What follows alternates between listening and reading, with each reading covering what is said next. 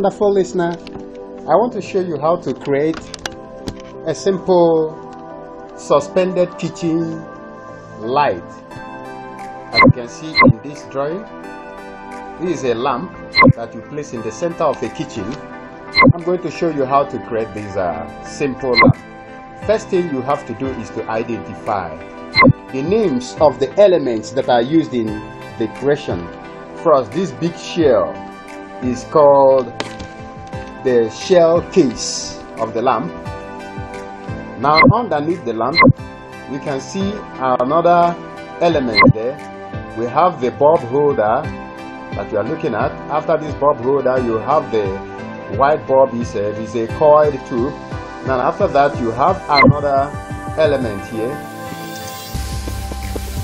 called the wire link pipe the wire link pipe. This is called the wire link pipe.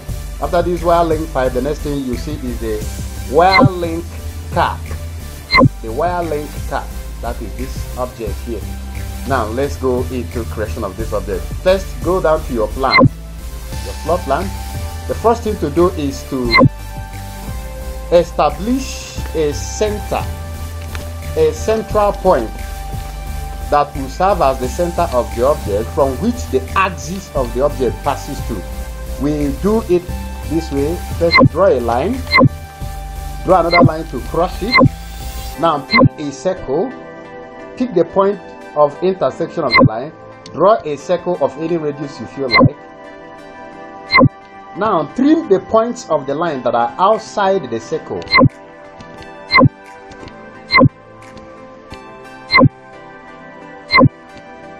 Now, after you've done this, delete the circle and have the two crossing line left. Now, with these two crossing line left, the central point, the meeting point of the two lines serve as the center of your object. Now, the next thing to do is pick your section, go to your section, pick a section line, cut a section line through this central point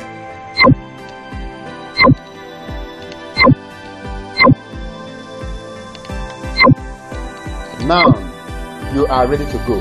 One of the reasons why you have to draw your uh, section line is because while construction of this object is going on you have to view it in the section and also view it in the 3d space and also view it in the uh, plan space. Now let's start. First thing we are going to create is the shell case of the lamp to create the shell case of the lamp the first thing we do is go to your object click on your object now go to your link libraries. From link libraries go down to special construction and click on basic shape now in this basic shape click on dome.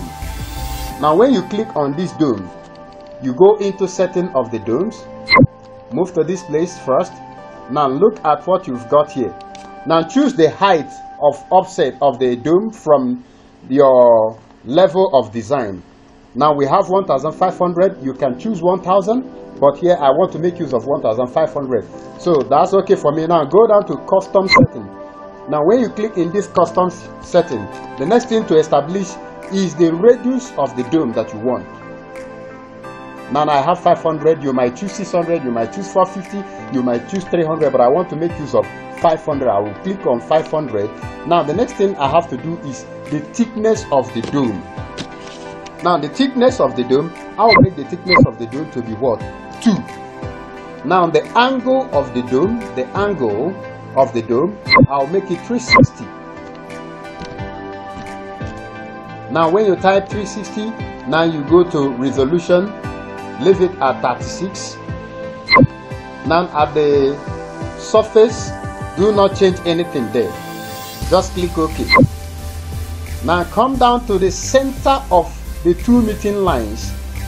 Drop the object there. You have your dome there. Now check it out in the 3d watch what it looks like. You can see what it looks like here.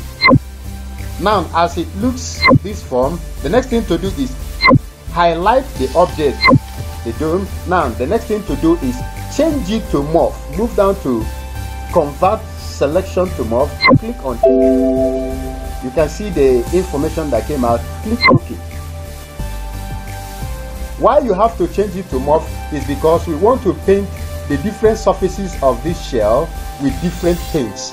Now, as you have it turned to morph, the next thing to do is click on your arrow. In this your arrow, the arrow has two types. One is blue. Click on this area, you have the white one. Use this white one. The white one is used for selection of surface. Separate surface like this external surface. I'll click on it. You see that only the outside of the shell is selected. Now go to this place. Change the material. Now i like using this paint vermilion. I'll click on it. Click ok. The next thing you have is the outside of the shell turns red immediately. Now you go back again to the inside of the shell. The inside of the shell highlight the outer edge. Now the two the the edge the outer edge and the inside of shell is highlighted. Click on it. Select material for it you might decide to choose you might choose any material you feel like but it has to be white something that can reflect the light of a bulb. In this case i'm going to choose um, these uh, you can choose paint glossy white.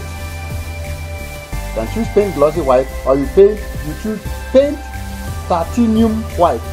Let me choose this object and click ok now you see that the inside of the shell is painted differently from the outside of the shell now that is done. Go back to your floor plan.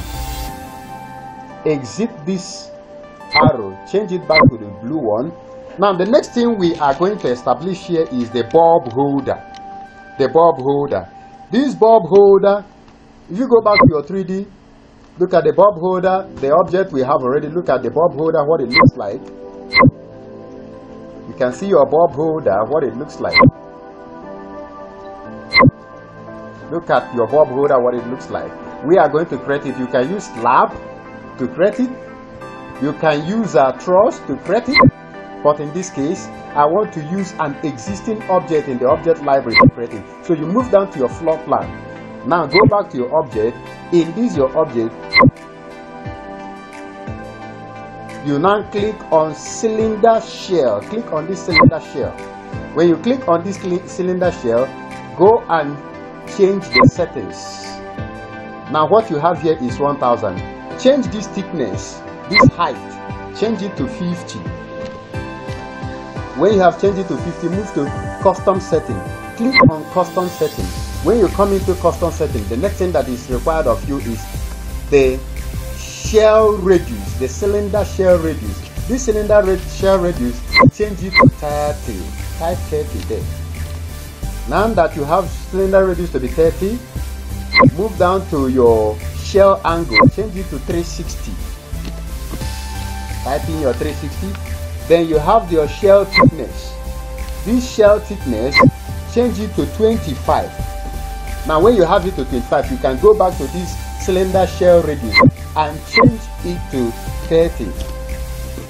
Now when you have done that, leave the rotation around x-axis as 0, that of y-axis as well 0. Then go down to surface, surfaces and change and pick any material you want for it. In this case i want to use a metal chrome i will click on this metal chrome when i click on it i will click ok. Then drop it at the center of the uh, the, the center of your object. Drop it there you have it looking in this form now move to your section. Go to your section. Click on your section. And view it in the section. Now your section opens. You see where it the object is lying. Now drag it up. Drag it up. To touch the surface of the shell. Now that you have dropped it there, view it again in, three, in your 3D and see what it looks like. You can see what it looks like in your 3D. Now the next thing we are going to create is the bulb. The bulb. You go back to your 3D here, you see what the bulb looks like It's a spiral bulb. Look at the bulb, what it looks like. We are going to create this bulb and place it here as well. So we go to go to the center of this object now. Move to your object keys. Open the object. Scroll down. Go to spiral 18. Click on spiral 18. When you click on spiral 18, go to the settings. In this setting, type in 150 at the height you want the spiral to be. Then go to custom setting. Now when you come to this custom setting, the sweep angle, change the sweep angle to 2880. Now when you change it, now go to this uh, radius of axis line. Type in 40. When you have done that, the next thing is radius of the tube. Change it to 8. Now leave the rotation around x-axis, rotation around y-axis, leave them at 0. Change the resolution to 36. Now choose a material for the object. In this case, I have a material already created called energy saving bulb. I'll click on it. Now click OK. Now drop the object in the center now when you drop in the center, look at it here. You can see what it looks like. Now view it in your section again and see what it looks like.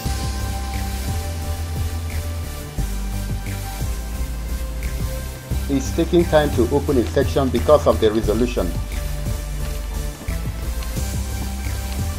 Now you can see it here. Now highlight it and drag it up.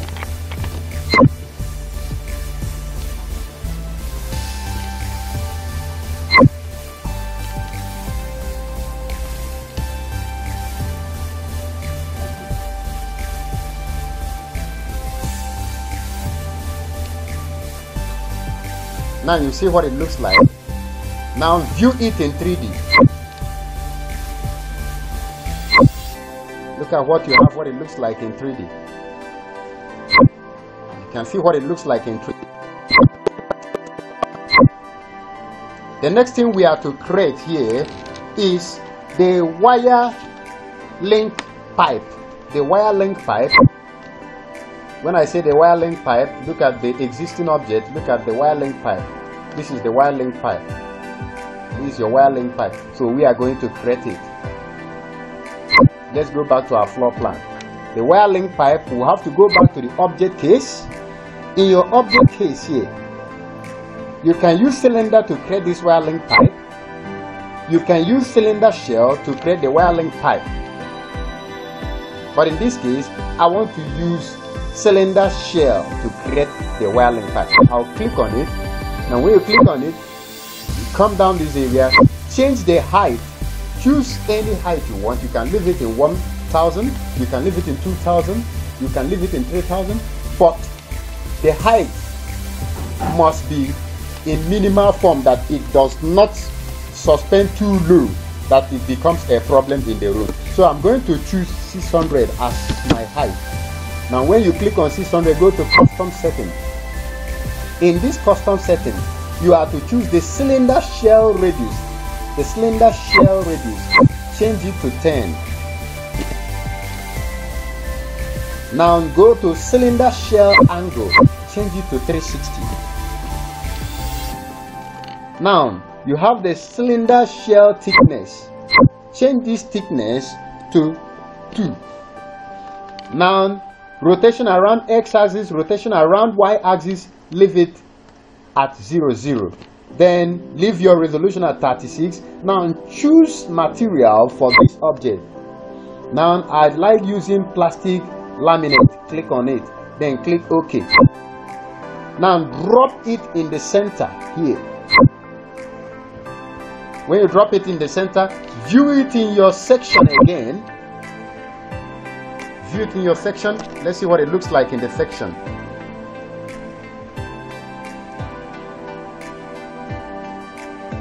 You may be asking the question, why does it take time for it to load?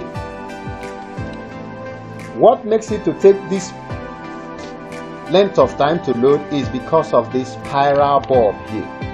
This spiral bulb here is the cause. Now, it seems like our pipe our link pipe is too large in radius. What we have to do we have to go back again and change the radius. Change the radius. You can see it is in 101 change it back to 10 change it to 10 it must be 10 that's okay. Now it's okay. Click ok it will turn back to the appropriate shape we want it to be. You exercise a little patience why it yes you can see you can see. Now you drag it up. Drag it up. Place it on top of the shell. You have to exercise a little patience while the object loads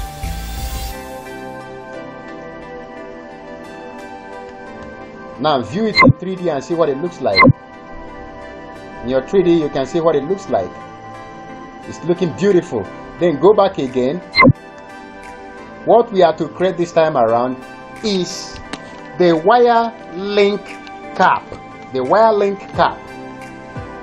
If you check in our 3d our existing 3d the wire link cap is this.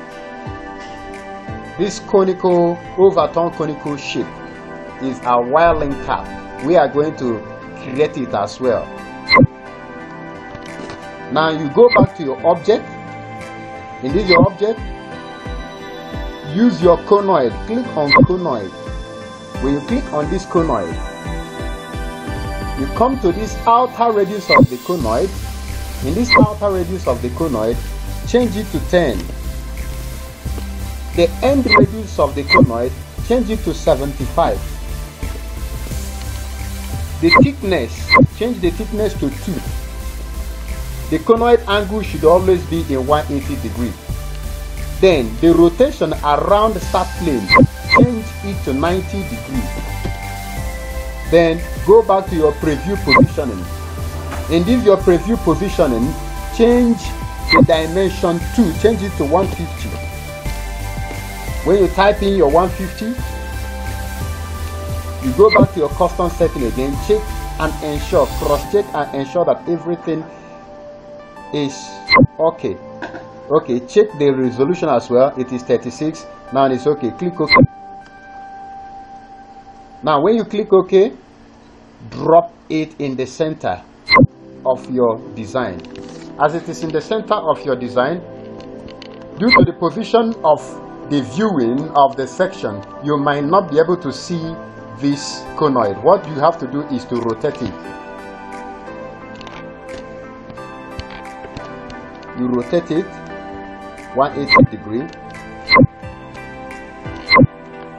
Now view it in your section and see what it looks like. Observe that each time we come to the section it takes time to load. The reason is because of this spiral bulb the resolution. Now drag it up and place it on the top of the wire link pipe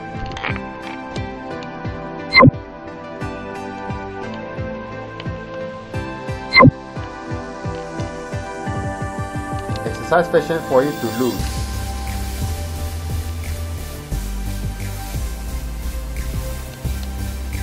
Now view it in your 3D and see what it looks like. You can see what it looks like.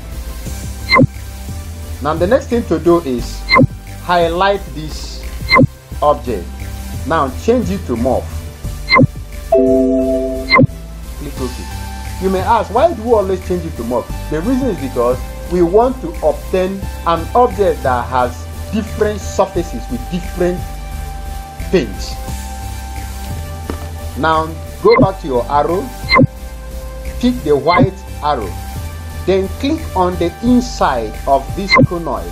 Click on it, highlight it, also highlight the outer edge, the top edge.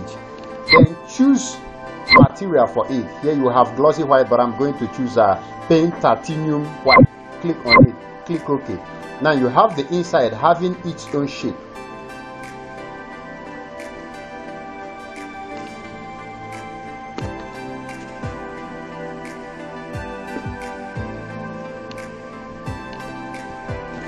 Then you click on the outside. Change it to the same material that you use for the shell case paint vermilion Now, having uh, painted the surfaces of this uh, conoid, the next thing to do this moment is go down to your floor plan. Now, at your floor plan, highlight the conoid and mirror it. By mirroring you to press down on your shift control M.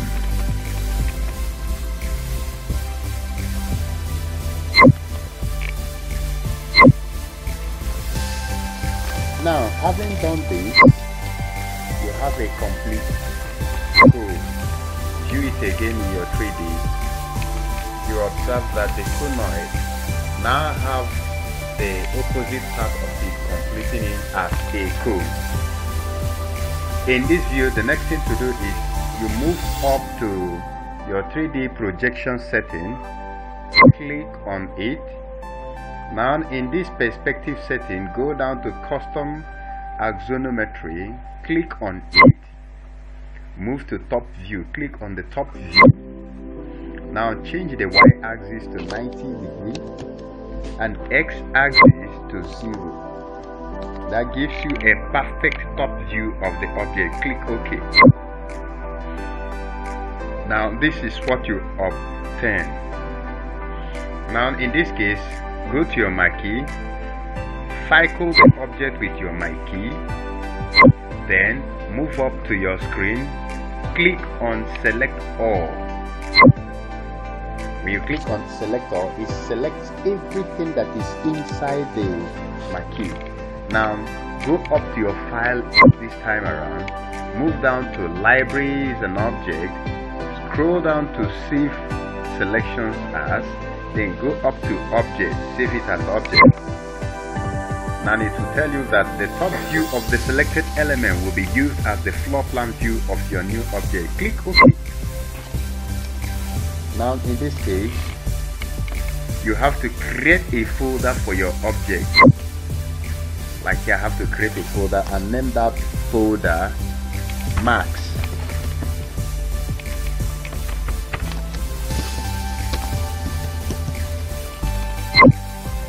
Now having created this Max, I will now give a name to my object. I'll call it kitchen suspended suspended kitchen lamp.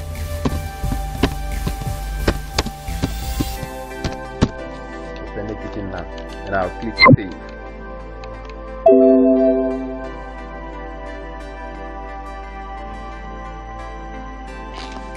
Says the library path has the same and uh, the library path, the library path with the same name already exists. In this case, I have to choose another name for it. I have to choose another name for it, but then I have to choose create my own folder. Type the name as Max.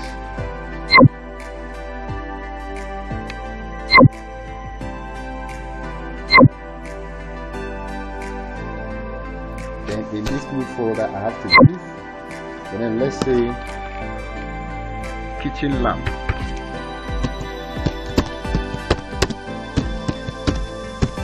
Kitchen lamp. And click on save. Now in the details here, click on the details, go here and write the name of the author. Maybe your name might be um, Philip. Philip. And then create, uh, click on change. Click on OK. haven't done this, deselect the object and exit the marquee. Now go back to your floor plan. In your floor plan, move to your object catalog. And this is your object catalog. Click on it. You observe that you have a new folder that is named a new folder. In this new folder, you have an object inside it named kitchen lamp. Go down to it. Change the hotspot position to the center. Then click OK. Now drop it on your drawing board and see what it looks like. Now your drawing board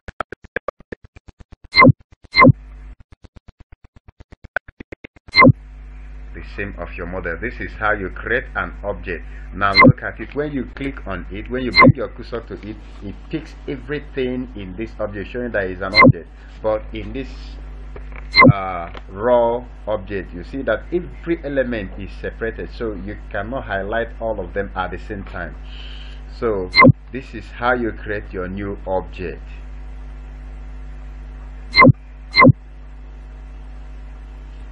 I hope you like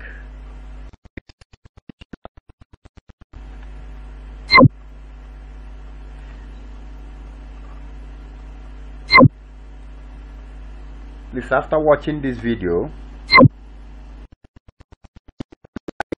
so subscribe for our channel. Thank you for watching